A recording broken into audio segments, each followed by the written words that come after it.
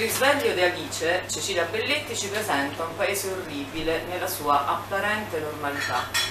Alla girandola di personaggi che propongono una realtà costituita di una sostanza solida di parole taglienti pronunciate con leggerezza, di indifferenza impossibile da scalfire, Alice oppone una strenua ricerca di una umanità ancora sconosciuta non sa che forma abbia o come la si possa manifestare, ma ha fede. E quindi confuta con una incredulità testarda il mondo che le si pone davanti, nella vita quotidiana, ogni giorno in ufficio.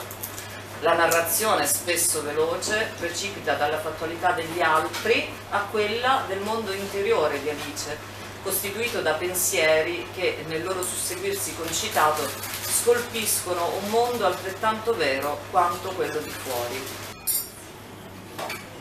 Succede che di fronte a grandi ostacoli si metta a parlare con se stessa nel pensiero, ma anche ad alta voce, a tu per tu con quell'io dalle mille facce che vuole e non vuole la stessa cosa al contempo, che sente diversamente da quello che pensa o crede di pensare.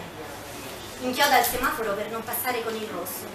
Brava Alice, sono fiera di te. Trasformala questa tendenza prepotente ed arrogante di dover passare a tutti i costi. Dove mai devi andare poi? Dove vai Alice? Dove corri? Fermati Alice, fermati. Specialmente adesso che ha lasciato il suo lavoro. A rifletterci bene, anche prima. Perché correre stringendo la mano a quell'ansia disperata? Seppure avessi fatto tardi al lavoro, non valeva certo la pena di vivere in preda ad una stupida frettolosa inquietudine. Ma certo, c'era lui che l'aspettava. Ecco perché. E da chi correva? No, un momento. Lui non stava ad aspettarla. Lui lavorava semplicemente lì con lei e basta. Alice tira un sospiro, non proprio di sollievo, ma ispira tutta la rabbia, l'angoscia, la paura accumulata in quei lunghi mesi sta rinascendo dopo una lunga esistenza di prigionia. Sì, per fortuna è passata, o quasi.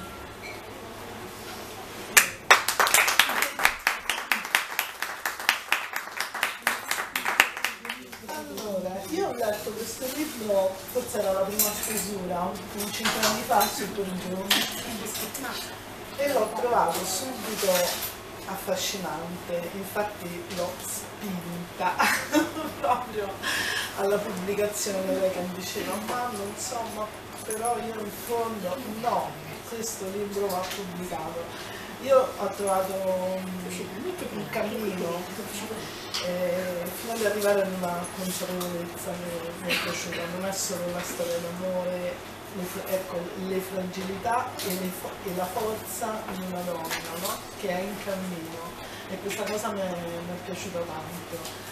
E, um, conosco Cecilia da tanto tempo ormai. Tre anni sempre. Penso un po', quindi ma saranno almeno sei anni, sette forse, non di più. E qualcuno dice che le persone si riconoscono, no? Noi abbiamo in comune varie cose. E, e quindi insomma sono veramente felice di stare qua. Adesso a tartassarti di domande per lei è tantissimo perché dobbiamo conoscerla un po' di più questa autrice. E lei fa tantissime cose, attrice, regista, montatrice, attrice teatrale, attrice di cinema, fa pubblicità, viaggia, fa su giù con la Thailandia, adesso sta per ripartire e insomma, tra l'altro la Thailandia ci lega sia perché abbiamo un carissimo amico in comune, sia perché abbiamo entrambe tantissimo il paese nel sorriso. Io, eh, Cecilia, scrittrice, quando, quando poi ti, ti, sei messa sul serio e dicevo va bene adesso lo pubblico, eh, però mi chiedo come, perché scrivere, come è nata questa, questa esigenza di scrittura? Um, dunque, um, quando ho iniziato a scrivere non avevo un progetto consapevole, ho scritto, e specialmente i primi capitoli, per esempio quello che ho letto è proprio l'inizio, eh, ho scritto. E um, poi mi sono fermata, quindi dopo un pochino di tempo ho ripreso in mano la cosa.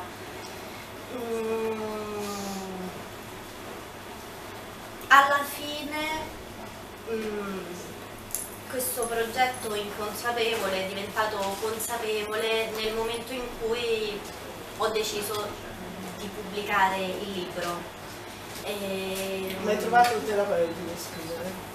In qualche ho voluto pubblicarlo ne- con l'intenzione che potesse essere da incoraggiamento o comunque da, da spunto di, di- di riflessione per, eh, per altre persone, eh, perché comunque parla di, di- di fatti molto attuali, diciamo così, normali come, come dice cose Deborah eh, fatti Quindi- brutti, eh, com'è che dici tu? Eh, eh, un paese orribile nella sua apparente normalità, quindi ecco, in questo senso